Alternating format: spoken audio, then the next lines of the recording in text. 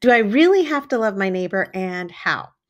Jesus said, You have heard that it was said, You shall love your neighbor and hate your enemy. But I say to you, love your enemies and pray for those who persecute you.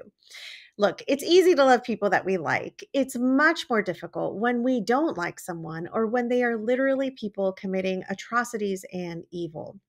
The world is fundamentally unjust, but a cycle of violence or hatred cannot be broken by more and more violence and more and more hatred.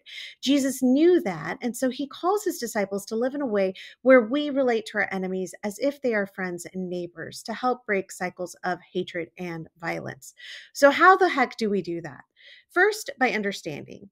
Jesus took time to understand the people around him. So we should try to understand why do our enemies think how they do? What angers them? What traumas have they endured? What philosophies have shaped their worldview? Try to understand how they got to where they are. Understanding can then help us be compassionate towards our enemies because we have a perspective on why they act how they do. When Jesus asks us to pray for those who persecute you, he's asking us to have compassion. Prayer is an act of compassion, and compassion looks beyond action to see a fellow human. Once we understand a person's what and why, and once we grant them compassion, it then becomes easier to love. We no longer see an enemy, we can then see one of God's children.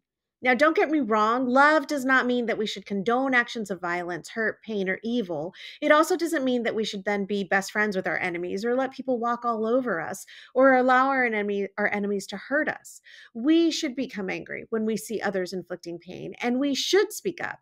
We can set boundaries.